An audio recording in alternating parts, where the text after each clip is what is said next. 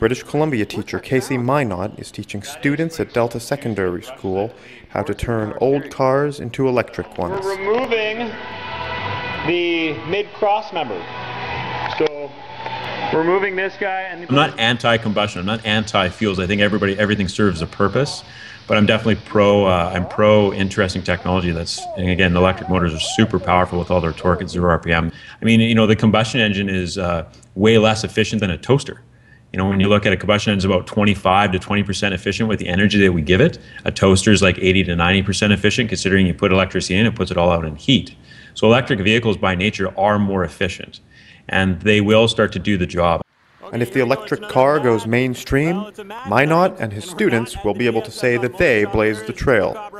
Uh, Canada's only well, first and only electric drag racing track built uh, the. Uh, you know, when you say the only one in Canada, and people are like, "Well, you better be careful about that statement." And I said, "Well, you know what? According to NEDRA, who's the regulatory body for electric drag racing, um, yeah, we're it. We're the only one. We're the only Canadian record ever to be set in history. So that's uh, that's some pretty cool stuff for an accomplishment of any adult, you know, or any organization. But you know, especially for a high school, uh, working with uh, teenagers and students, it's uh, it's pretty impressive.